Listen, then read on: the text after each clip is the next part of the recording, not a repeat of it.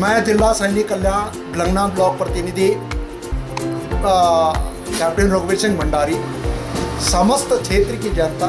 बुजुर्ग महिला युवा सभी पूर्व सैनिक परिवार की ओर से नववर्ष की हार्दिक शुभकामनाएं देता हूँ